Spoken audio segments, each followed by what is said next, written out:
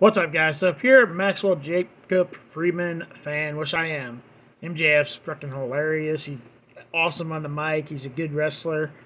I'm just super entertained with him. So let's read what he says here because this is freaking entertaining. Just took a step back and I have a very deep introspective thought. Introspective thought.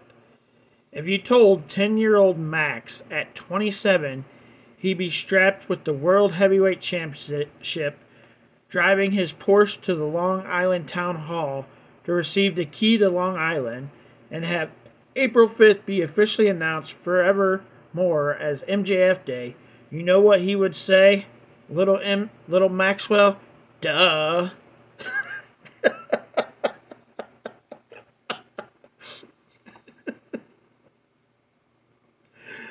this uh, come on guys like this dude takes his character everywhere he goes he, he probably really is an asshole in real life. Like, in order to play his character as good as he plays his character, this dude's probably a straight asshole in real life. Like, I wouldn't doubt one bit that this guy, the way he acts on TV, the way he acts around fans when they're at like meet and greets and shit, this dude probably in real life, in real life, is an asshole.